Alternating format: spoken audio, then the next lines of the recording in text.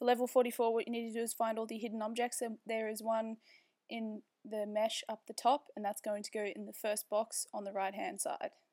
Then there is one just above the left door, that's going to go in the second box. Uh, there is one on the floor at the bottom left, and this shape that you find is going to go in the third box. And then obviously there is a star uh, in the door, and that's going to go in the bottom right box. And once you've completed this, the door will open and you're up to the next level. If I helped you, please give me a like and thank you for watching. Bye.